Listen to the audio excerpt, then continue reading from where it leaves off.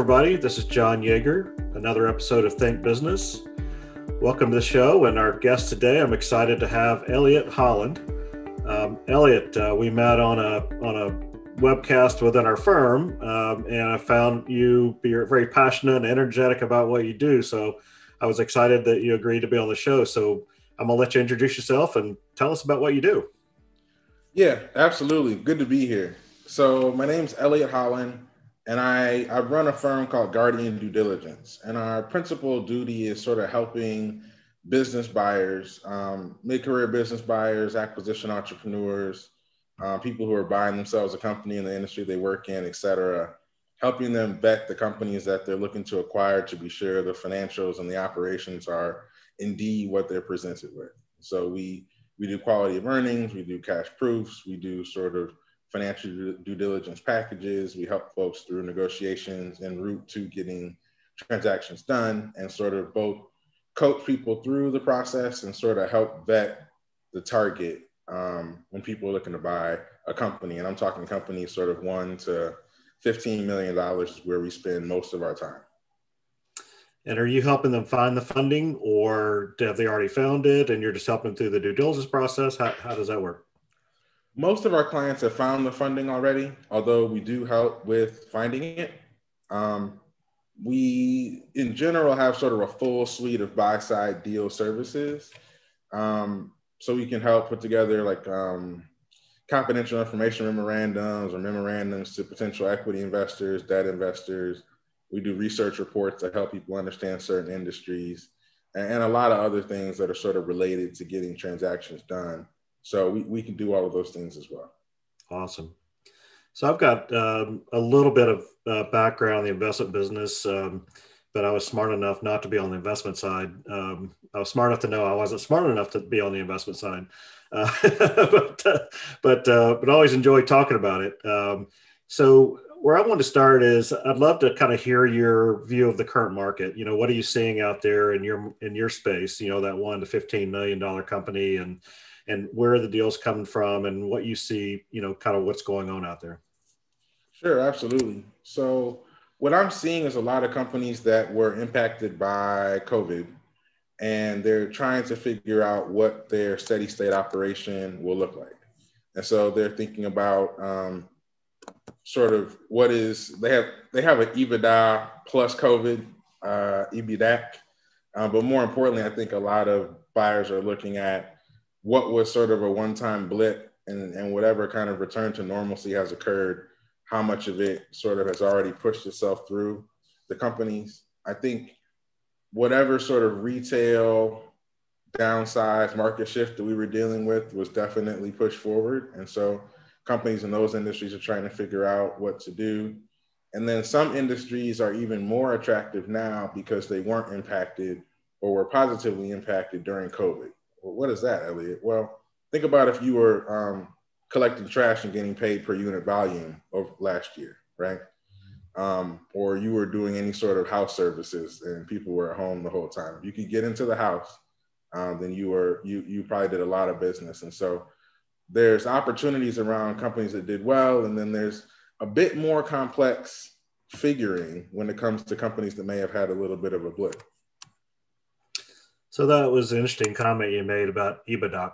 Um, uh, so uh, tell me a little bit about that. I, you know, I, I, certainly know that there were blips in performance, and you have to take out one-time hits to earnings or one-time increases to earnings. You know, whatever it mm-hmm. may be, depending on what they're doing. But um, I'm a little bit curious about that, and, and kind of how you're how you guys kind of view that, and and what kind of analysis you do around that, and and how that plays into the valuation side.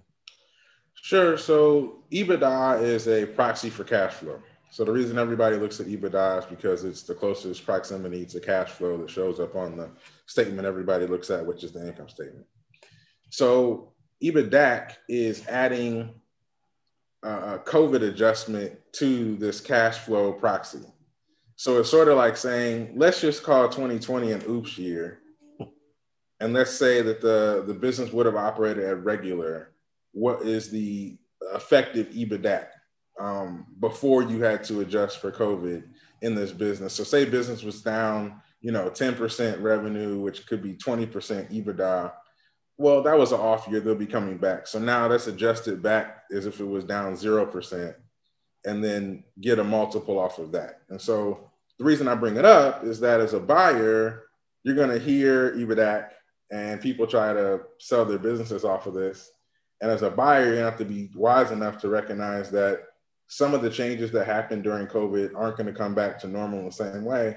And so that adjustment isn't appropriate. Gotcha. Makes makes perfect sense. I just haven't heard that explained before, so I appreciate that.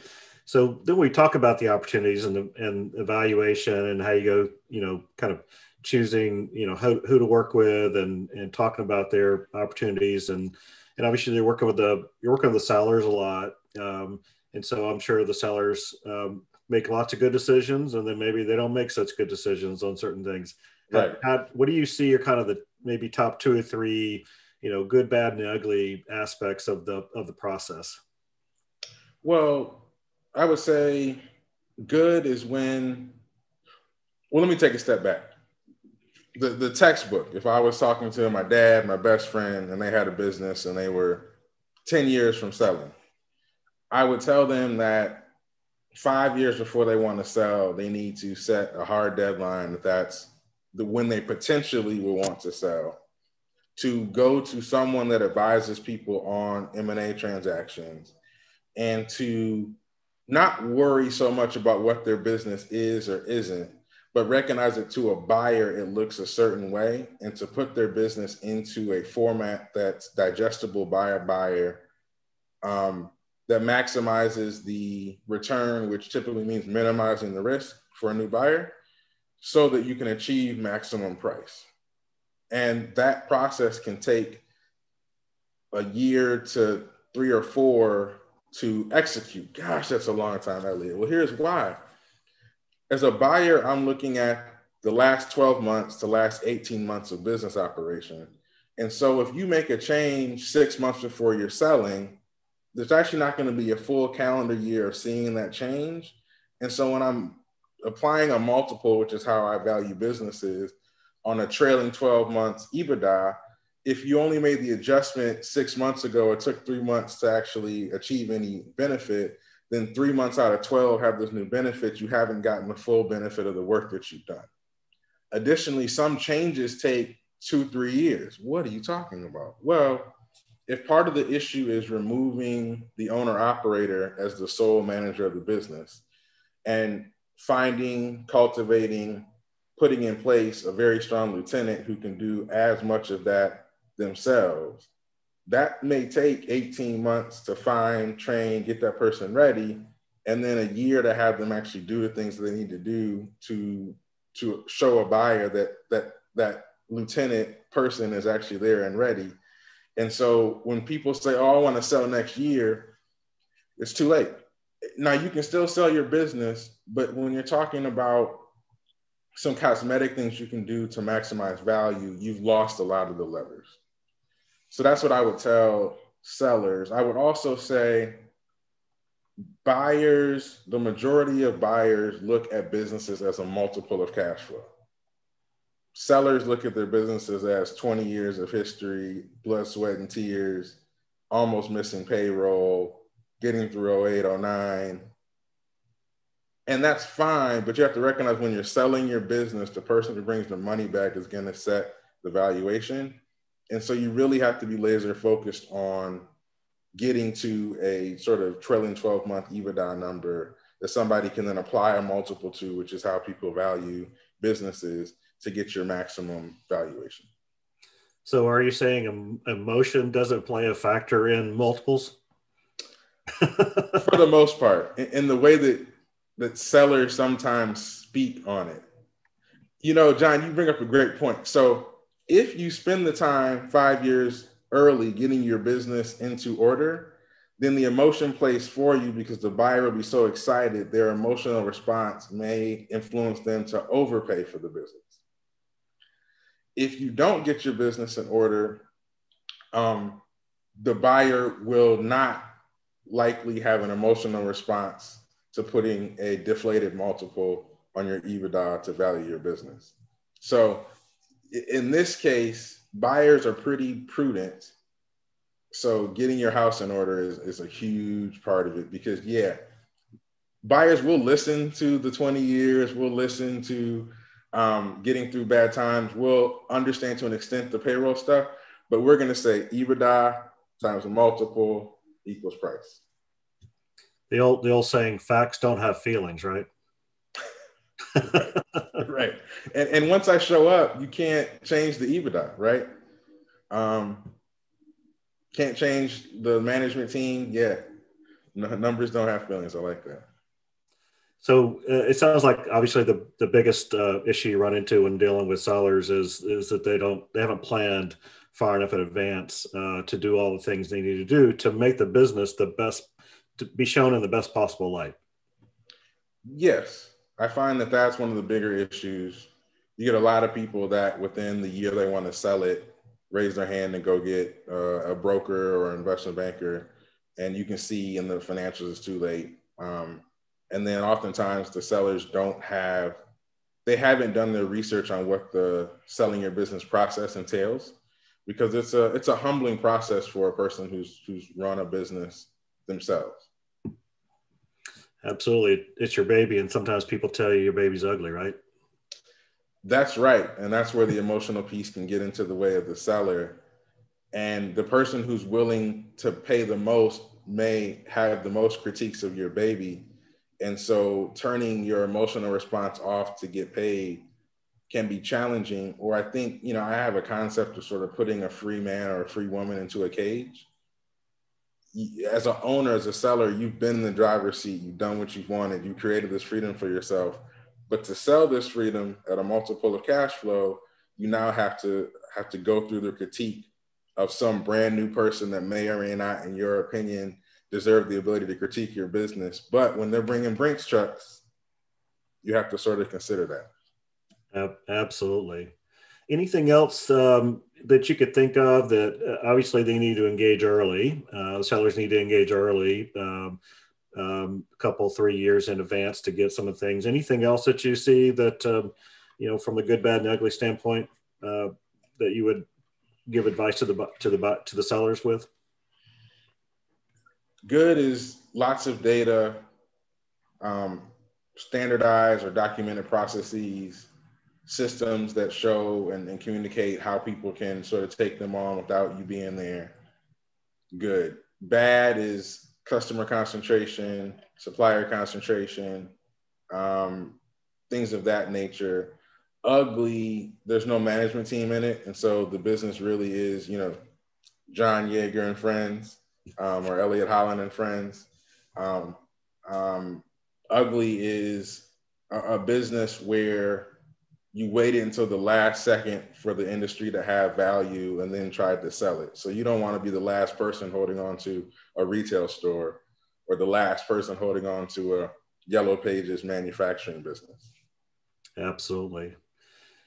So then once you've got the seller through the process and now they obviously, um, uh, uh, well, uh, and so the buyer's taken over now. So you're, you're working with a buyer and, and uh, they're looking for a business to own some things that you know first to talk about what what they should be looking at. And then secondly once they buy the business you know is it like the dog chasing the car? You know you catch the car now what do you do with it? What what do you what do you what do you talk to the buyers what do you talk to the buyers about once they become those are two great questions. Let me make sure I, I park the second one so i can come back to it. In terms of buyers where they need to do the work and this is the challenge. So um, and close your ears, sellers. Um, but you should probably hear this too. Because buyers pay a multiple of cash flow, um, and it's three to six times for most of the deals that are in the sort of five to or three to fifteen million dollar price range that I spend most of my time in. Um, let's just say four. So because somebody's paying four times EBITDA um, every dollar of profit that they communicate to you or able to convince you of that isn't real profit, they don't get dollar for dollar the benefit. They get four times the benefit, five times the benefit. And when we're talking about millions of dollars, all of a sudden, a person has maybe the highest incentive. The seller has maybe the highest incentive in life to tell a story. I'll put it that way. And so, buyer's duty is to take in a lot of data from nice, reputable national sort of brokerages or um, sellers with high reputation and, and huge sort of positive impact on their community. And then also coming to uh, realization that those facts as presented in glossy PDFs may not be accurate. So a huge part of diligence is actually picking apart financials, taxes, bank statements to understand what is the true cash flow of the business to apply the multiple to. And buyers get into a lot of issues with that. In terms of the dog chasing the car and then catching it, I think in the marketplace where I am, a lot of people are ready to be operators and aren't all that great at doing deals. Um, and so that kind of it's it's almost like um, you're a great NASCAR driver, but like uh, if you have to like put the tires on the thing first, like it's like this awkward sort of scenario. People have to do something not good at, and then they can actually do what they're supposed to do. A lot of people um, ascribe to sort of being their own bosses, being a CEO, and so they're sort of on the deal thing, and then don't recognize there's a 10 year business operation on the end of it, and even thinking about what that means. So you're spot on about sometimes people uh, being that dog that catches the car and then looks back and says, well, "What do I do now?" well, you know, we um, in our business we obviously help clients with that process of of putting in people, process, technology. But the, the whole reason you do that, from our perspective, is so you can alpha output, right? You got to have output to run your business on. You got to you got to know what what your numbers are. You got to follow them on a daily basis uh, mm-hmm. sometimes. Um, and so that seems, from our standpoint, to be one of the keys to be a successful business owner and CEO. Is that consistent with what you see in the marketplace? I think so. I mean, I think it's mission critical to to have a plan, to be ready to work it, to have contingencies, um, and I mean, to your point about getting so many systems in place, a lot of times the glue that was sticking stuff together was the owner, who's now going to be way less involved, and so without knowing you know who's on first or sort of how are you going to manage the top you know three to five things you need to execute for this um, business to, to grow? You can be in a world of hurt because sometimes you've let knowledge walk out of the company that had you thought about it you could have captured and you might have spent an extra couple days with the seller to to understand some things and now that person may be enjoying their vacation a bit and they may be a bit harder to get on the phone. Not return those calls from the beach i guess. Yeah exactly. Exactly so um, I think we're about out of time for today, but Elliott, it's a great conversation. Um, any any kind of final thoughts you want to put out there, and also, you know, give the viewers the opportunity to get in touch with you if they have further questions. Sure. So you can reach me at my website, guardianduediligence.com, and that's do D U E. You can also find me on LinkedIn, Elliott E L L I O T T, last name Holland, like the country. I'm responsive in both places. Email, phone numbers are there. And last thing, just buyers. Sometimes, sometimes people want to cut expenses and say, "Oh, it's a smaller deal." I'll just trust the seller, and I, can show you a graveyard full of people who thought smaller deals were less complex from a diligent perspective. So, um, be be prudent. Um, be prudent, buyers. Be prudent. Awesome, Elliott. Thanks again for being on the show great value. I'm sure our viewers can get a lot out of it, um, and I hope they reach out to you with, with their questions. Um, so this is John Yeager. If you'd like to reach out, you can find me at john.yeager at btcpa.net or at 404-441-4835.